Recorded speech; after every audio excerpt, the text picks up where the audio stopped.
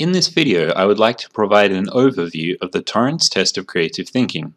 I would like to include a description of what the Torrance test of creative thinking actually is, why it is useful, how it is conducted and measured, who is able to conduct the test, and what we can potentially learn from the test. So first, why is it called the Torrance test of creative thinking? Well, it is named after an American psychologist called Ellis Paul Torrance. Torrance formalized the Torrance test of creative thinking back in the 1960s. It was made by bringing together some of the work that he had previously done with elementary school children and others. He had a very large amount of experience working in the field of creativity. Torrance built upon the work of J.P. Guilford. Guilford has been credited by some as being the first to provide what we now think of as today as the standard definition of, of creativity. So this leads to the question, what actually is the Torrance test of creative thinking? Well, in short, it is used as a way to measure a person's given creativity. The IQ test is used to measure a person's intelligence. In contrast, the Torrance test of creative thinking is used to measure a person's creativity. It is important to realize that intelligence and creativity are quite different, and that they rely on di different cognitive processes. Intelligence in terms of the IQ test primarily depends on having skills in what is called convergent thinking. In short, it relies on having the skills and knowledge to correctly answer a given question. Creativity, on the other hand, primarily depends on having skills in divergent thinking, which involves thinking of numerous, different, and unobvious ways to resolve a problem. IQ tests can therefore provide an intelligence quotient to see how a person's intelligence compares to a given population. The Torrance test of creative thinking can provide a creativity quotient to see how a person's creativity compares to a given population. Now that we know what a Torrance test of creative thinking is actually used for, we need to understand how it is actually carried out to measure a person's creativity. A Torrance test of creative thinking comprises of several simple subtasks or tasks which make up the overall test. The test material is comprised of two sections, both a verbal and a non-verbal, or sometimes called figural, section. One or more of these tasks can be used to measure either specific aspects of a person's creativity or to provide an overall comprehensive overview of that person's creativity. If a person completes a certain set of these tasks, a creativity quotient can be calculated from their performances in these given subtasks. Let's now spend a little bit of time to talk about these two sections, both the verbal and non-verbal, or sometimes called figural, sections. First, let's talk about the materials that are formed as part of the verbal section. There are generally seven verbal activities that comprise the verbal section. During each of the seven verbal activities, the person who is being assessed, the examinee, will be asked either one or several questions which are relevant to the activity of interest by the examiner. For example, during activity 2, guessing causes, the person who is being assessed may be provided with a description of a certain situation. The person being assessed may then be asked to guess what may have been the cause which led to the currently described situation. Another example, during Activity 5, the person being assessed may be provided with the name of a certain object and asked to come up with as many unusual uses for the object as they can. The verbal section is scored using three different metrics, which I will now describe. The first metric, fluency, is a count of the total number of understandable, meaningful, and relevant ideas that are generated in response to the stimulus provided by the assessor. The second category, flexibility, refers to the diversity of ideas that is generated. This, this, is often scored as the number of different categories that are used by the examinee in response to the stimulus provided by the assessor. The third category, originality, refers to how common the given response or responses are to the stimulus provided by the assessor. In other words, if the examinee provides a response which is statistically rare and not provided by many other people, the examinee will score higher in this category.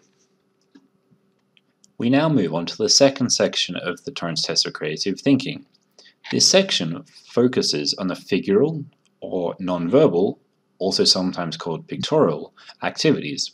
There are three main figural activities, picture construction, picture completion, and another one called lines and circles. During these activities, examinees will generally be provided with sheets of paper which contain some form of abstract or incomplete symbols or shapes. The examinee will then be asked to make amendments or additions to the symbols or shapes in order to create something meaningful. For example, in the picture completion task, an examinee may be provided with a shape, such as a triangle. They will then be asked to use the shape to draw a picture of which the provided shape is an important component. Another example, during the lines and circles activity, examinees might be may be provided with a sheet of paper containing 40 or more circles and asked to draw or sketch objects of which circles form a major component. This is especially useful for measuring fluency and flexibility to see how many and what variation the examinee is able to come up with. These activities are measured using five different metrics. The first two, fluency and flexibility, are the same as are used for the verbal components of the Torrance test of creative thinking. The three new ones are elaboration, abstractness of titles, and resistance to premature closure.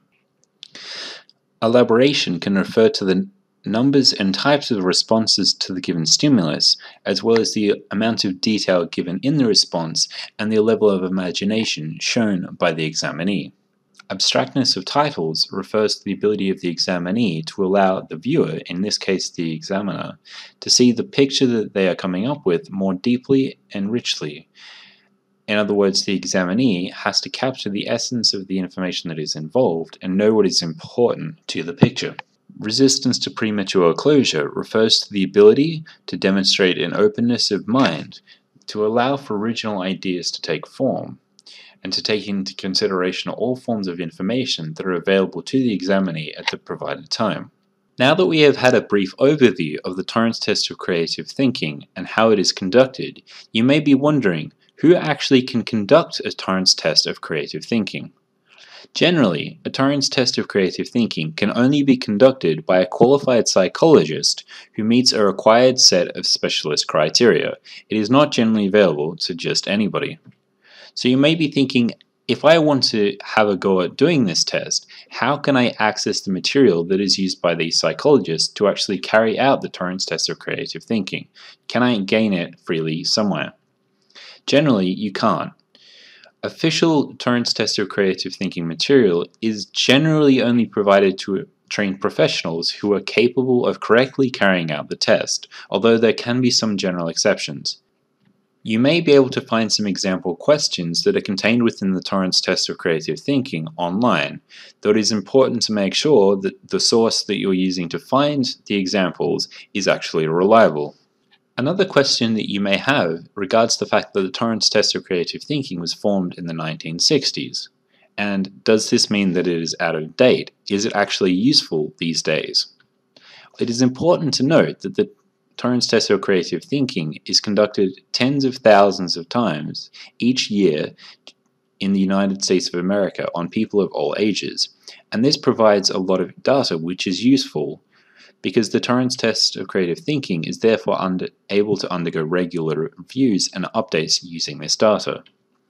The Torrance test of creative thinking has also been renormed five times in its history. This is required because the average creativity quotient can change over time in a given population. Renormalization allows the creativity quotient calculation to be adjusted to reflect the current population. For example, if the average value is, say, x in 1974, but that value is now x plus 5 in 1984, when it is renormalized, we can therefore change what we consider to be normal in 1984 so that it reflects the population of 1984 and not 1974. So you may wonder, what is the actual usefulness of a Torrance test of creative thinking? Does it actually have a real-world application? Well, it does. It has good useful application because it allows us to consider how creative people are in respect to a given population and also enable us to compare different given populations.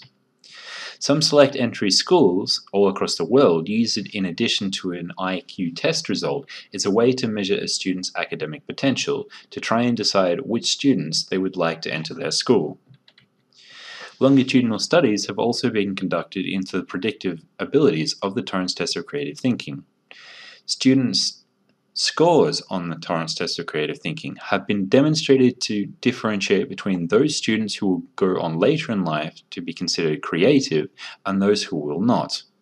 Therefore, if a student completes a Torrance test of creative thinking late in their elementary school career or early in their high school career, this can be used as a reasonable predictor of whether they are likely to be creative later in their professional career. As previously mentioned, the test also allows the creativity of different populations to be compared. For example, one study found that American college students scored significantly higher than Japanese college students on the Torrance test of creative thinking. Therefore, it may be considered that the creativity level of American college students may be higher than that of Japanese college students. However, it is also important to bear in mind that the Torrance test of creative thinking may not be equally applicable to people from different cultural backgrounds. Lastly, we may consider what else can we actually learn from the Torrance test of creative thinking. Well, it can actually be quite a lot, especially if we compare this to how we look at intelligence quotient results. It is widely known phenomenon that there has been a regular increase in the average IQ of people all around the world since the 1930s. This is commonly referred to as the Flynn effect, named after the person who documented this effect. So what about creativity? How has creativity changed in relation to intelligence quotient over time? Does it also change? Well, we have previously talked about the renormalization that has occurred five times in the history of the Torrance test of creative thinking. If we look at how the test has been renormalized over time, we can gain an understanding of how creativity has also changed over this period of time. One study has actually investigated this very phenomenon and has noted that since 1990 to the period 2008, scores in creative thinking have overall significantly decreased, although IQ scores have risen during the same period of time. Fluency, originality, and elaboration all decreased during this time period. Some other metrics, which form part of the Torrance test of creative thinking, have increased during this period, however. I hope that this video may have been useful to help you understand some of the basic principles of the Torrance test of creative thinking, why it is useful, and how it can be used to gather knowledge about human society. Listed on this slide are the primary resources used throughout this presentation. Thank you for watching and have a nice day.